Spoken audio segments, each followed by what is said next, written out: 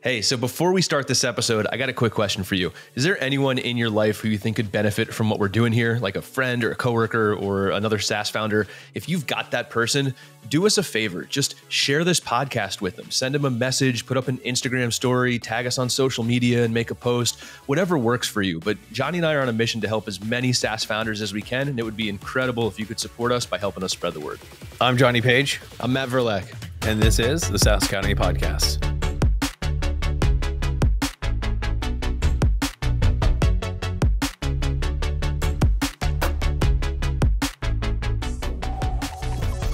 Do Matty V, we're back in the mailroom. I every time we say that, I imagine Elf.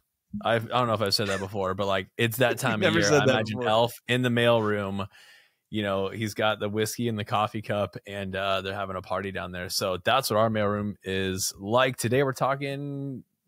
We got a little bit of everything. We got some developer questions, how to find a 10x dev. We've got how to leverage a Facebook community, whether it's in support or in lead gen. And we've got what was the last one in the mailroom? Not using an EA, man. Ah, yes, using an EA. But before we do that, dude, do you mind if I take a second to brag on one of our SaaS Academy clients? They're wrapping up. They just posted in our in our client only Facebook community some wins from 2023. Do you mind if I share? Do a little bragging? Dude, I would love for you to share. Let's do it. All right. So Bruce posted he joined in April of this year. I'm gonna give you a little highlight reel of in what's that like eight months all that they accomplished. So first off, in April, they since April they've reworked their pricing. They implemented the demo on demand, which is kind of near and dear to my heart. Tra- framework I taught in SaaS Academy. Love to see they they implemented that. They simplified their offer and their technical setup.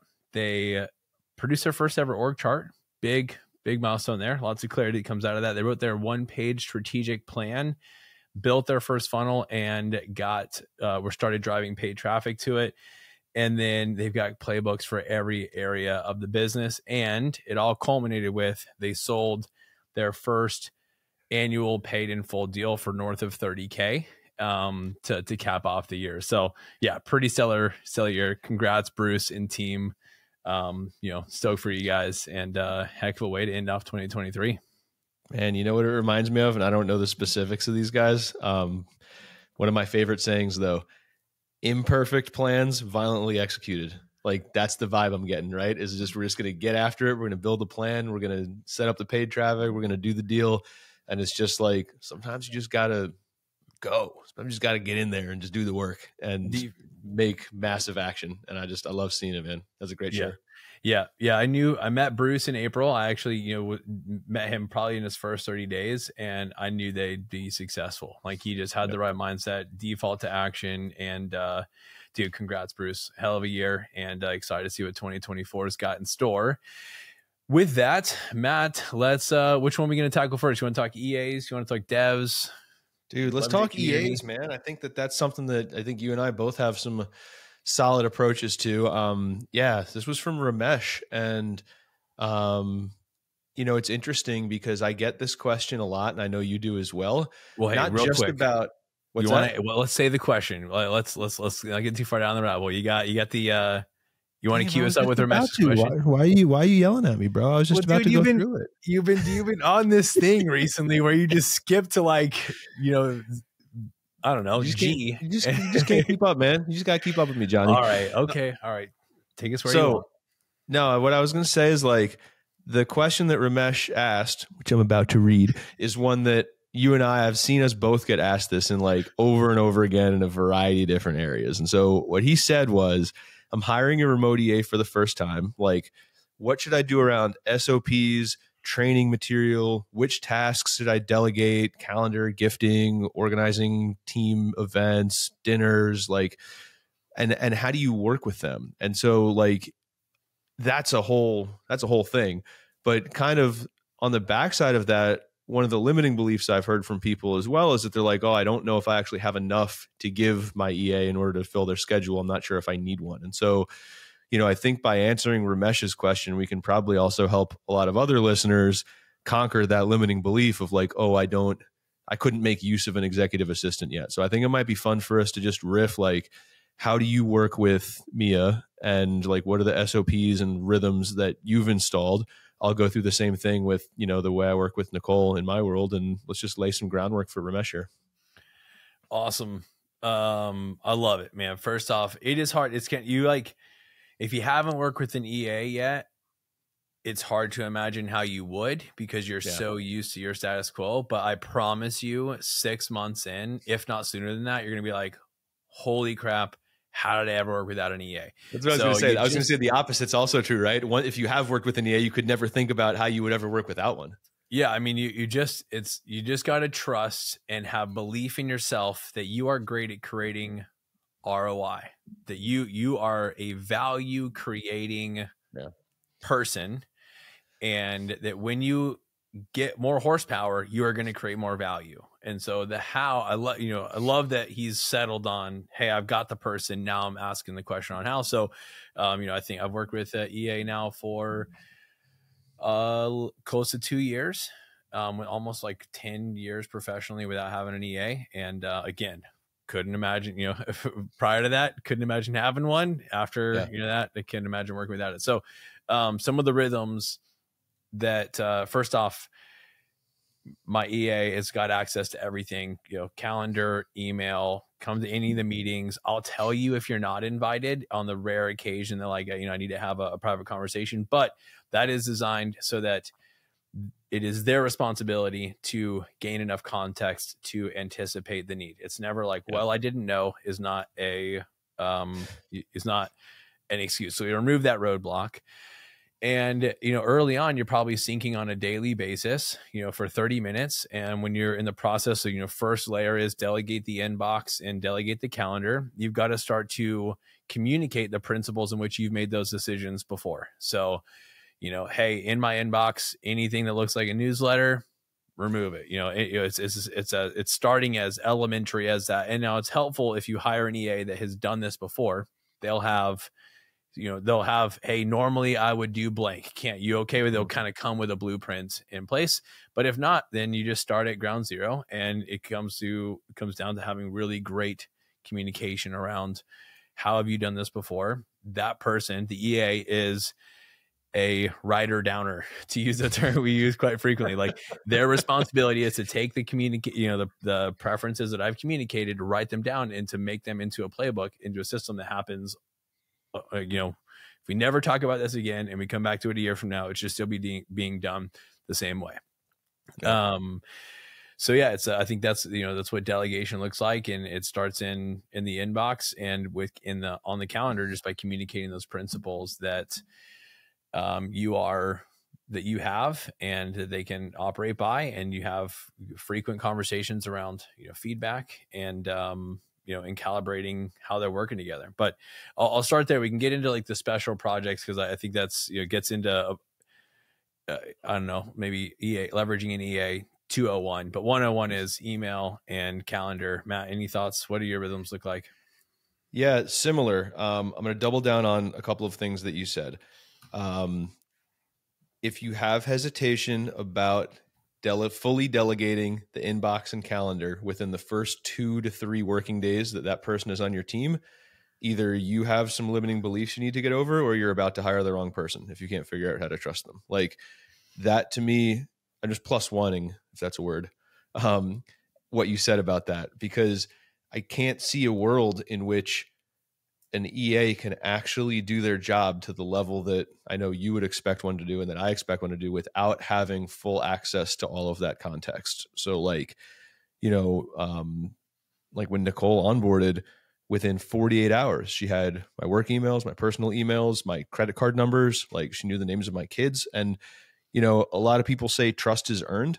I just don't operate that way. I believe that trust is given. You can certainly lose it, but I start with trust and maybe that opens you up a little bit for some vulnerability and maybe that comes with the territory but i can't imagine doing it the other way and so i think that you know i've, I've talked with some founders when they're they're just like oh i don't know how to use my ea but that they don't even give the ea the ammunition to make good decisions in the first place yeah I mean, you you really have to eh, like, like many things. It comes down to who you're hiring. Trust yeah. is absolutely critical in this hire You got to Yeah. be willing to just like let them all the way. Literally, the more transparent and vulnerable, and you know, more I communicate uh, that I am with my my EA, the better we perform as a as a pair. It's like Yeah. she is. I you know I call it. You know, she's like the co-founder in this role with me. Like we're we're working Yeah. on it together. There's nothing that I'm responsible for that you aren't responsible for, and vice versa. And you can't do a very good job if you don't have context. Um, so yeah, you gotta gotta come into it and, and have that have that trust as a foundation. Now it is something to grow into. I think there's some ways you can build up to it, right? Like we're talking about going and attacking some of the low hanging fruit that will buy back some of your time. You get to see some reps. Like I'm not gonna bring in an EA and then have them like rebuild a department on day one. Sure. But, Yeah. like yeah. you know, you, we work our way up to it. But yeah, I, I love your frame of like trust is given and then you know loss versus being earned because you know and, and I, I bucket the types of work into I call it admin work and strategic work, right? So when you say something like rebuild a department or go lead big projects, like that's definitely strategic work that comes a little bit later. But there's the a lot of founders can't get past the admin side just because it feels so alien to share all your stuff, right? Um, so I think that's definitely the foundation. There's two other things that um, that I would call out on this.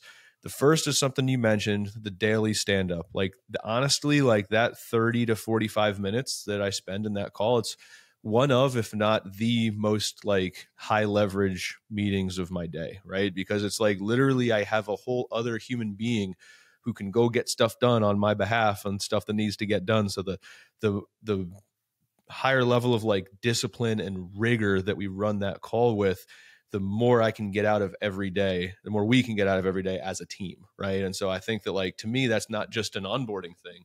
I don't have a, a single other person, including you, that I work with that I talk to every day. Even you and I don't talk every day, um, but Nicole and I do, um, and we get a ton out of that call. Um, but the real question there is how to get the most out of that time together. And as the founder, what do you need to overcome to be the person that can get what you need out of that call? And here's what I mean because I've been through it. I had this just like strange psychological belief that I was like being unreasonable with the things that I was asking. I wanted things done a certain way. I wanted the agenda done a certain way and the list done and the email filing system done and newsletters. Like everyone has opinions, especially if you're founding a company, you have opinions.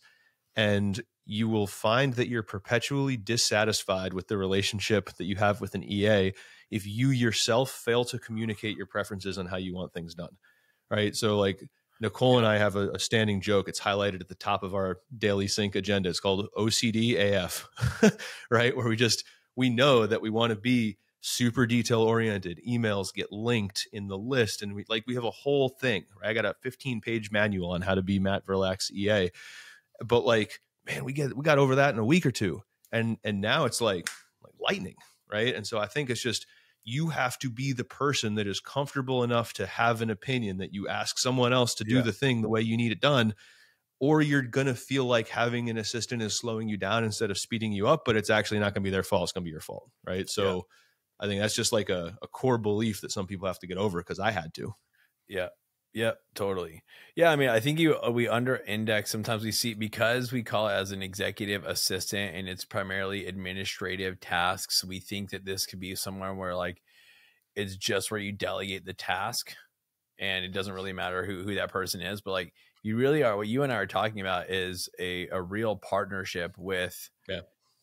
an executive assistant that goes way beyond the administrative work. Like it's a, a lot of co-creating strategy and you know anticipating the need. What we want is in few words as possible. Can that person anticipate where we're going and help us get there faster? Or Yep.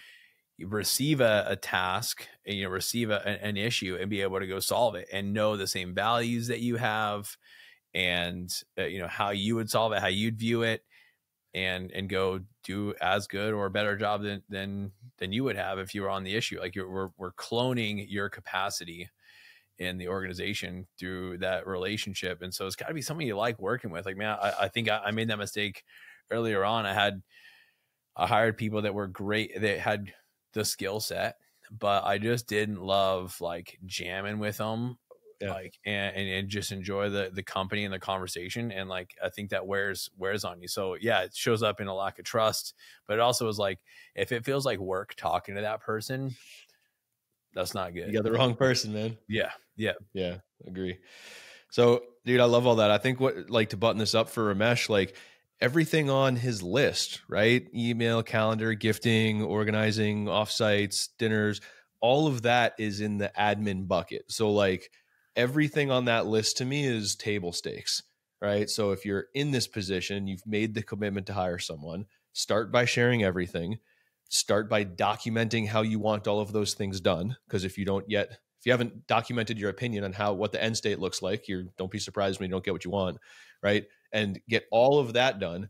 But to me, mentally, I'm allocating roughly 50% of this person's capacity to those type of things. And if I've hired the right person, I've got another whole 50% to work on project management and you know being making decisions on my behalf and strategy and gut checking what I'm working on and all that kind of stuff. So I mean that's everything on that list is half the battle, and that's the caliber of person you should hire for.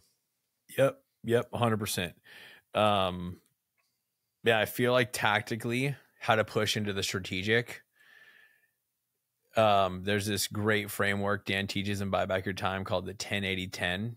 So One of my let's just say that you Yeah. were pushing into like I, I could say like putting together a founders dinner. That's gets not into strategic, but it's not purely administrative. Like there's a lot of details in there that you probably have preferences around you love for that you know ea to be able to to tackle so 1080 10 works like this let's just say that it's a founders dinner you want to put together a dinner of six founders in your local area and you need their help coordinating you know pulling the whole thing off. You want to show up have dinner with some really cool people and you know want your ea to tackle all the rest. The 1080 10 rule would be you meeting for the first part of that project and talking about you're involved for the first 10% and this 10% is dedicated to defining what the end looks like. What you know how what are the constraints? What's important? Is there a budget who would you like to be there? You know any you brain dump as much as possible this is what success would look like and they get a chance to ask questions. What about this? What about that? Whatever. You do a discovery up on the on the front end. Then they go and do 80% of the work. There may be some you know depending on the size of the project and the stakes you may engineer some other like touch points along the way but they go do 80% of the work and then when it's time to go you know deliver this product or the dinner is supposed to happen you're involved for the last 10% and you you make you're you're there to help calibrate the final final pieces before it gets shipped but um, I think that 1080 10 is a great place. It kind of it builds in the calibration of like communicating their preferences. They get some, you know, some uh, some freedom to go do the work how they would want to to learn, and then you get to come back and that last 10% is there to learn. And then every time we go through a project where we use a 1080 10, they're understanding more and more of the decision making process that you have. And uh, you know it gets easier and easier to the point where like I you know I'm now with with Mia man I can I can just say hey Mia can you just go fix that? Like whatever that thing is. Can you just get in and go fix it? We'll talk about it but like just run to the fire and we fought enough fires together to where like she does it just as good as I do and uh, and Yeah. sometimes even better because she's got some like great administrative and project management skills that you know I don't I don't possess Yeah, no, it's awesome. I was laughing because I've literally used some of the similar turn of phrase with Nicole where I'm just like, can you just make this go away? Make this just solve this problem because I don't want to keep talking about it and it's Yeah. always gets solved the right way. So Yeah. Yeah. Ramesh, make the hire. Let us know how it Yeah. goes. and Yeah, have high expectations, like hold a very high standard. I, I will tell you this to land the plane. If I were starting another SaaS company tomorrow, my very first hire would be an executive assistant before Yeah. a support person or a salesperson or a marketer. Like I, if I'm having a co-founder, cool. First real hire though, like first employee, executive assistant in a blink, 100% certainty, period, full stop. Yeah. Like it's that important. Yeah. It is, yeah. We could, we could honestly, man, this would be a fun episode. Maybe we'll go do this, but this would be a fun episode. If you are w- trying to work with an EA and you're having some issues, like just to do like a, a maybe we should even bring our EAs on That's what I was thinking. do a little Yeah. uh you know first off like you get their perspective on it but then second maybe we should do a little, you know, live coaching. And uh, if you're working with an EA and have a hard time getting over the hump, like we can, you know, help diagnose. It's helpful to be. I'll tell you, it took a lot of figuring out. Like it wasn't, you know, we're making it sound easier now than it is. Helping you, yeah. hopefully. The goal of this conversation is to give you a picture of the future of what it can be so that you keep on pushing through the uncomfortable learning stages to get there. Like, don't yep. just settle for a VA that, like, you know half you know you could essentially like give you, yeah yeah exactly so um yeah man i don't know good good question ramesh Hey, what's up, guys? Johnny here. Hey, if you're anything like me, some of your favorite podcasts have come from the recommendations from a friend. And so I'm asking you a quick favor today Will you share this podcast out with someone that you are building with, a SaaS founder that you know? Matt and I are, on a mission to help as many SaaS founders as we possibly can. And you're sharing this podcast would mean the world to us. Thanks. Yeah, it's a good place to land. Cool. All right, going on to number two from Jeff. Um, he was asking about does anyone have a someone managing a Facebook group or a community for them? And so it's a pretty high level question, but I think it's a really powerful strategy. And you know, Johnny, we were riffing on this before we hit record. You know, we were talking about tackling it in two ways, right? Because I think you can use communities, whether it's a Facebook group or or a different type of community, for like marketing and lead generation, and then you can also use it um, for your customers. And so I've done the latter, but I was hoping maybe you can kick us off on some thoughts around leveraging a, a community for lead generation for your SaaS company, and then uh, then I'll pick up on the other side of the fence. Yeah, so I, am going to go more down the the path of like using a Facebook community for lead generation, uh, delegating this to someone else. I think we've you know, we've talked about the process of, of delegating. Yeah. Anything you know uh, frequently, or maybe we'll just set it aside and do a whole separate episode. But like of utilizing a community in the lead generation process, you know, I think this is whether it's uh you know, and I wouldn't I don't know if Facebook would be my first pick. Could depend on your target audience. Is that like I'd say, yeah. hey, where's my audience hanging out, and then how do I create the community um, where my target audience is hanging out, and I play facilitator. So my, you know, and this falls under. I think it's a great strategy for providing value to your target customer first. You can do this through education community is just another a way to deliver okay we're playing connector we're helping people help each other facilitating a, a meeting place for people who have shared goals and challenges. And then from there we so if that that's the value you're creating i'm going to think through how do i facilitate great discussions. Let's just say um i think i don't want to pick an easy one let's pick an example here. Um let's say that you serve contractors, building contractors, right? And you figure out where are they hanging out online, where are they asking questions, and we're going to facilitate some conversations that are going to be beneficial for the community. So I think first one, step one is create engagement and activity, make it valuable for that uh, for people to join, and then two. You create resources. The way I've seen this leverage for lead generation is you create a resource. You would create a post that would say something like, hey, I've created the contractor's guide to getting paid faster, reduce your accounts receivable from on average 90 days down to 45 days. I got a quick guide. If you want it, type, you know, 45 days below and I'll send it to you. And you're using the community to, to have people raise their hand and then you take those conversations into direct messages where you say, yeah. you know, you give them the resource and then you ask, hey, what brought you here? What's the biggest challenge?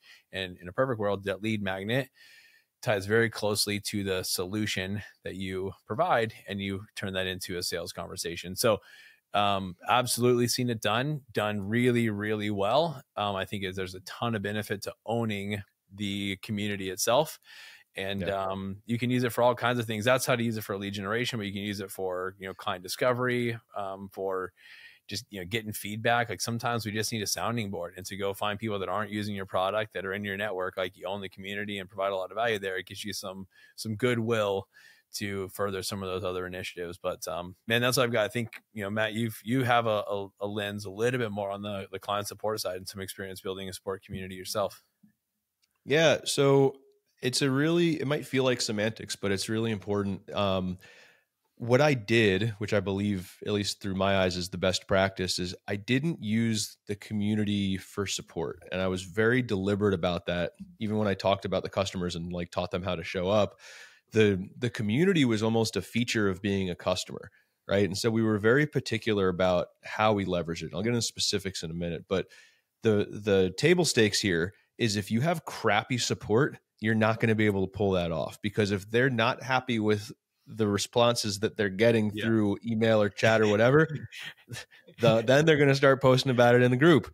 So like yeah. you have to be good at supporting your customers first before you do what I'm getting ready to tell you. And so like and we my first company, man, we monitored our our CS stats like maniacally. I mean, from our NPS, but also like our time to first response on live chat, our time to ticket resolution, our you know individual support case, customer satisfaction. I mean, and we had some pretty world class metrics because we really gave a shit. Um, and so, you know, that was who we were. And so, like, let's assume that you're good and you're happy with your support. What we did in that group is we used it. So we were serving gym owners, right?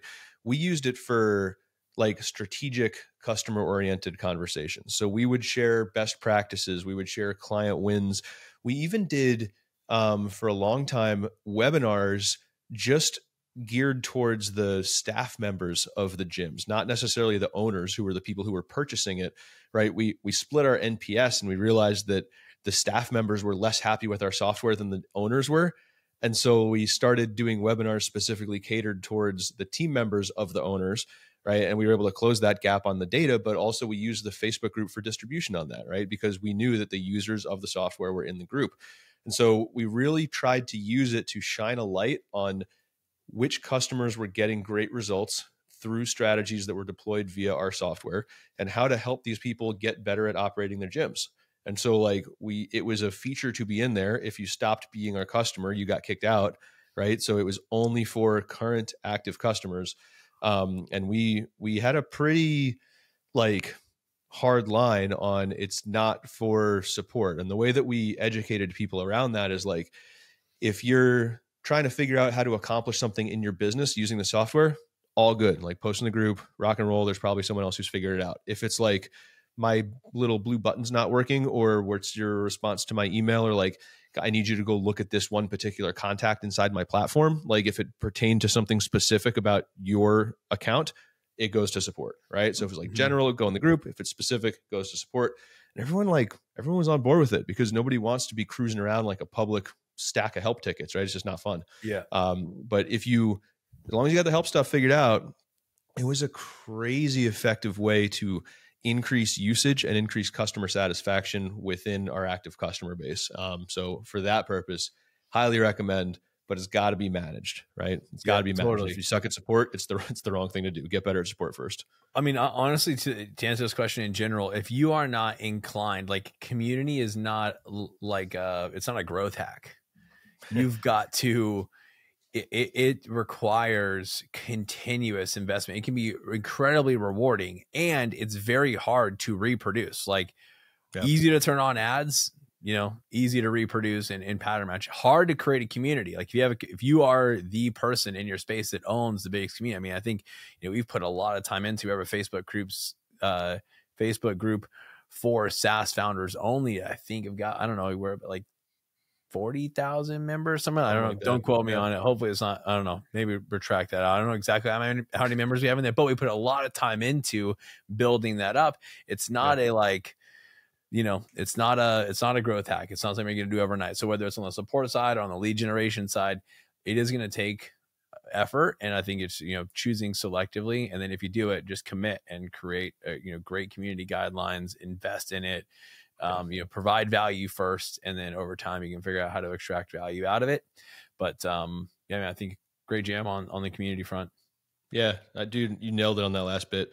Like a community done poorly will be much more damaging than a community not done at all, right? So yeah. oh yeah don't make an entry level hire and chuck it over the fence and hope it works and checks the box. Like just don't. There's a Don't great book if you want to kind of like. Uh, I like reading a book in the category uh, first, or maybe even just if you want to invest a little bit more time. Um, you know, find a podcast. Um, I think there's a book called "The Power of Community." His name is David. Is it David Spinks? I'm pulling it up right now. I'm terrible at uh, typing and talking at the same time, but I want to get this recommendation out there. Brooks, is that who we're talking about? The Power of Community is the book. I'm almost 99% David positive. Spell, The Power of Community. Maybe there's a blog post. I don't know. A lot of Davids out there. That's not it. I'm gonna find it. I'm gonna find it. It's gonna Our be podcast great. teams have to clean this part up a little bit. Well, yeah, let's see. Anyways, we'll get the God. What is the name of the book? I must have. uh I have it sitting on my Oh, coffee table. I think you threw me off with the David. How's Howard Partridge sound?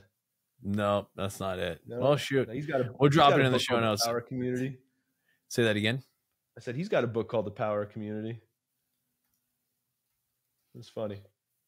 All right. Well, good talk. David Spinks is his name. The book. What I said. Did you? No. Come on, man. Don't don't. It's hard enough for me to type and think, let alone be like, you know, I don't know. The business of belonging. Wow, that would help. If I had said the right name of the book, that would help. The business of That's cool. belonging. He talks about six different areas of the business to leverage community. Everything from like you know client advisory groups to uh, lead generation to support to um, affiliates like there's it's a really solid overview of leveraging community. The guy's just worked for 20 some years on uh, on building communities and businesses and has now had you know there's very in very few organizations is there actually like the a person that owns community? It's like this side thing for you know the head of marketing or the head of support or whatever and more and more putting a person in you know these you know in, in larger companies at scale that owns community and express in these different areas so it was a good good overview of counting the cost of what would it take to like do community well and i would say unless you are really thinking about it and kind of obsessed over it and think it could be great and a competitive advantage i'd probably just like not do it yeah, yeah. Johnny, I just followed my rule. Anytime anyone recommends a book to me that I think would be remotely interesting, it's an automatic buy. It's on, my Kindle in the time it took you to explain that. So nice we'll get into it sweet Cool. stuff. Yeah, that was an awesome, uh, awesome question from Jeff. All right, question three from my man Matt. What a great name. Um, so he he was referencing a video from Dan Martell, who and and Dan in that video had talked about the concept of a 10x developer. Um, you know, also saw it in the Netflix book, No Rules Rules. And so Matt's question is, what does a great developer look like, and how can you see a great one versus a good one or an okay one right? And so this will be an interesting question you know because you know johnny's non-technical founder. I'm a little bit more on the nerdy side of the house so we can answer it from two different perspectives. So uh, yeah jp why don't you kick us off man? Yeah, this one is, you know, there's two, you know, two, I guess, issues to be aware of uh, for this particular hire as a non-technical founder. In that one, we're looking for what 10x looks like. So that's the question: is like, what would 10x look like as a developer? And then two, we're hiring for a skill or for a role where we don't possess all the skills. Like so you sometimes have this this cheat code if you've done sales before to hire your first salesperson you know a little bit of what you should be looking for. You don't have that luxury when you are a non-technical founder hiring a developer. So I'm gonna answer the question through both lenses of like, you know, what would I be looking for for a great developer, and then what would I do to make sure they had the skills so they weren't just a person that I liked and enjoyed talking to, um, but someone that could actually get the job done. So first off, what's a great dev? I'd say there's three things that I'd be looking for. The first is this is per- a person that cares tremendously about the mission. Like from the second I told them what we were working on, they couldn't stop thinking about it and they have tons of ideas around it. Like they are, they immediately become obsessed and potentially could care even more than you care about the product. You got to see that from day one. This is a 10x person. This is not just a job. They are thrilled and obsessed with the mission, the customer, the problem, the ways we could solve it, etc. So if I'm not feeling that from day one, uh, I'm, I'm I'm probably you know I'm going to keep on looking. I haven't found the 10x yet. The second would be that they have strong recruiting power, and I don't mean that in that they're the person that's going to be hiring or the person recruiting themselves. It is that other people will want to work with them mm-hmm. they're impressive. Other people like they are develop like high performers want to work with high performers. Your technical team should be giddy about the prospect of working with this person because they are so good and they have so much to learn from them. If I'm not seeing that in the hiring process of like, dude, Dave is unreal. Like we got to get Dave on the team. And then I'm hearing like though that would be the I may not be able to have the same appreciation because I don't code, but other people who do have got to be telling me that this person is absolutely incredible. So you have strong recruiting power. Um, the third thing that I'd be looking for is that they ask really great questions. They would challenge my thinking and they've got strong opinions. If, if those if they check those boxes, this is like this is someone who is driving towards something. They know what great looks like. They're going to take initiative, take ownership. Um, they have a strong opinion on how things should be done. Those are all things that I'm looking for. If in the hiring process I'm finding those things, I'd probably move on to the second stage where I go like skills. You know, this the second question that Matt asked was like, "How do you find them?" Yeah. And you know, I'd say I'd hire a recruiter. Like, no doubt, I'm hiring someone. I'm hi- you're talking about a 10x developer. You're trying to get the top, you know, five percent of the market. Um, you you're not. Those people are not applying for jobs most of the time. Um, they might be applying for jobs if they don't know they're a 10x developer yet.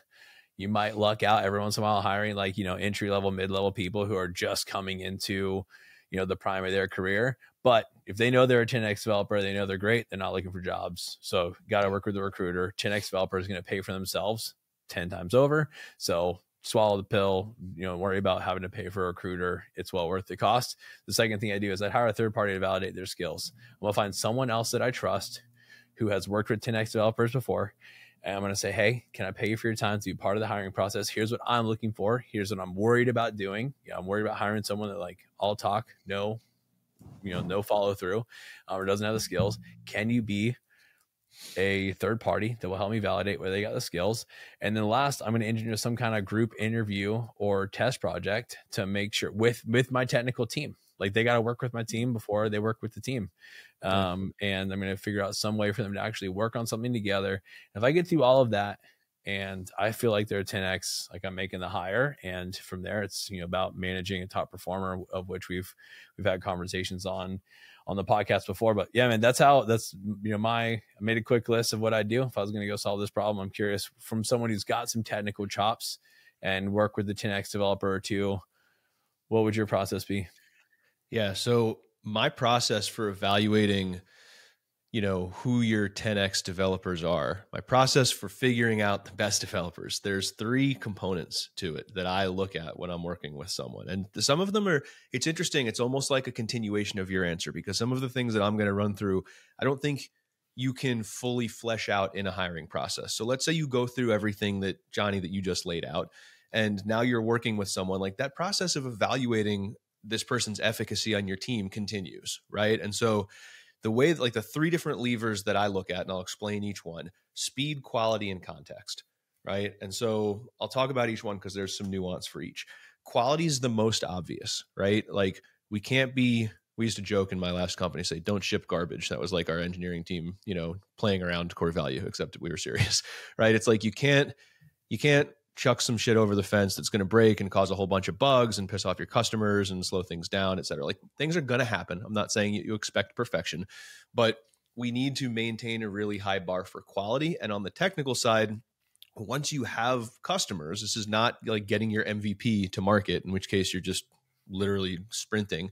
But once you have customers, you need to protect their ability to use the platform.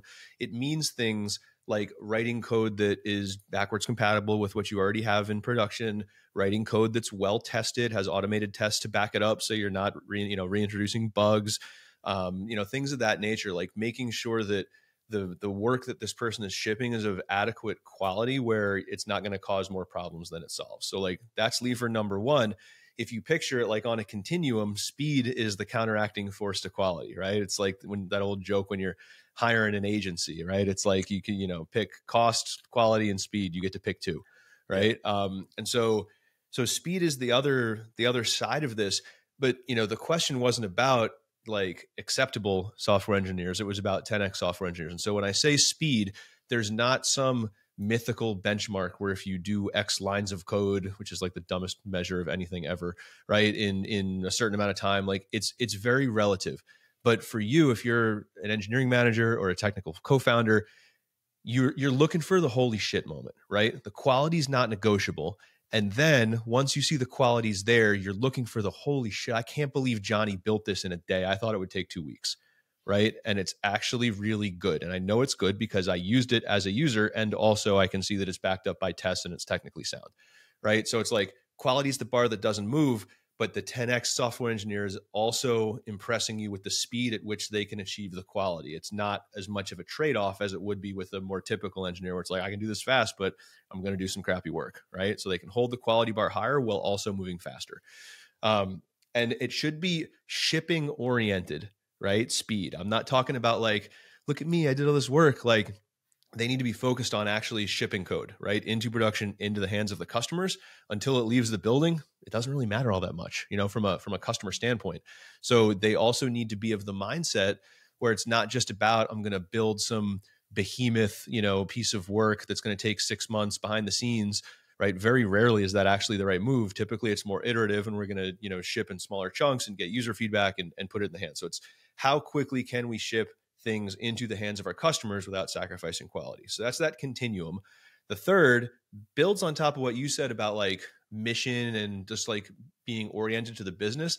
I just call it context, meaning like, can they read the play of the business case? Like, what I don't want to hear, what I wouldn't expect yeah. to hear from a 10x engineer is like, well, that wasn't on the the ticket that product created, so I didn't build it. Like, look around the corner a little bit see yeah. what you think is going to happen have the conversations like be able to understand like the business application of the work that you're doing not just uh you know the product person said i need to do this thing that does one two three four five so here's your one two three yeah. four five goodbye right like yeah. it's you're not a order taker that's not a 10x engineer it's a person who can read the play so 100% so that's the context man. so like the quality bar doesn't move have a surprisingly fast speed to actually ship it out the door and not break stuff and be able to read the play on the context if those three things are true keep that person in your world as long yeah, as you possibly yeah. can.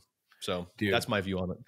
100% man. I couldn't agree more especially on the last one dude just the number of times that we've been across the table from a founder who spent a shitload of money building the wrong thing yeah. It, it's sad man. I think that, that having the person with the with in the especially for a non-technical founder having the person on the technical side safeguarding against is this really what we need to build and at the right time? And is there a simpler way to do it? Eh, you know helping instead of just like saying hey more hours is more dollars for me. I don't care where they're pointed yeah. you know being invested in where we're going as a company man, to me that's i think uh, especially in the early days when you're you're hiring your first you know three to five developers you know having people with high give a shit is is pretty important. Amen dude. There's one other thing that i gotta I, can't do this justice without saying there's one other thing i gotta call out on this. Like the whole concept of 10x right? You have to be 10x of something right? Like 10 times better than X, right? And so, like, this is a relative journey as your company progresses, right? Like, a 10x engineer at Netflix or Google would be like a 10 billion X engineer to uh, some bootstrap startup, you know, it's doing 20 grand a month. And that is okay, right? So, when you say like get a 10x engineer, you're probably not going to take the best engineer at Google who's making, you know, a million and a half dollars total comp every year and get that person to come like work at your startup right? But what you're looking for is for each hire to come in, like you're looking for the person that's 10x better than what your current ceiling is right now.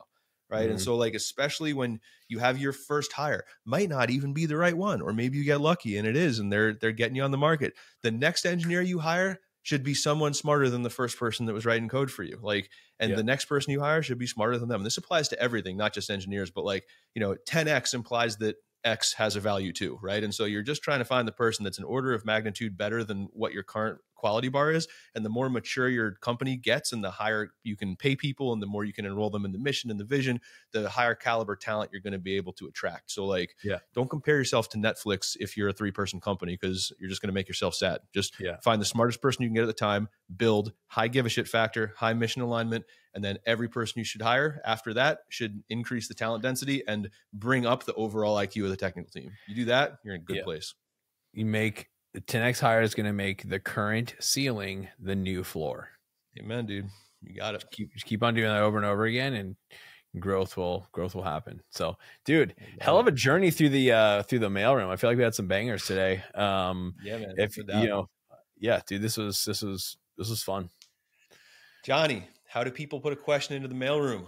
Oh man, you should email us at podcast at saasacademy.com. We'd love to riff on them. We have thoughts and ambitions of doing. I think we will do one. Um, so pay attention, you know, stay tuned to we'll at least do one live show like this where we'll actually bring founders in, answer questions live. We'll probably, you know, grab a couple of our SaaS Academy coaches or thought leaders from the space and jam along with us. But, you know, hey, this is where it's starting. Send us your question at podcast at saasacademy.com. And uh, man, if you're liking these episodes, let us know. It'd mean a ton.